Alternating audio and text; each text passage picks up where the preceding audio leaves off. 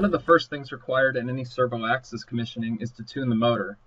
ASDA Soft is included in the purchase of any Delta servo drive and includes features like the auto gain tuning window that help make this task easy and save you on startup time.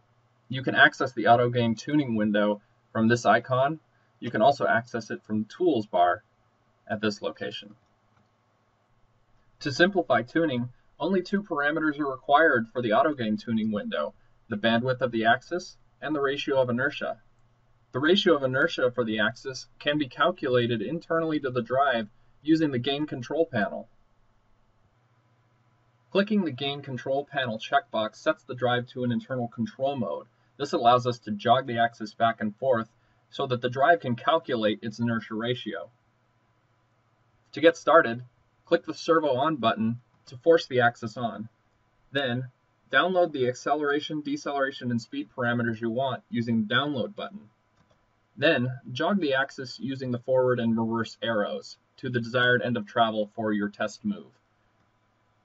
Holding this button moves the axis forward. Once you've reached the desired position, press position 1. Then use the jog arrow in reverse to reverse position and hit position 2. This sets your two end of travels.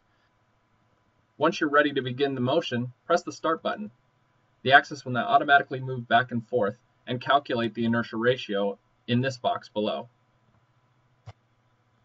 Once we see that the inertia ratio is settled, we want to stop the axis and increase the speed. This ensures that we get a correct value for the inertia ratio.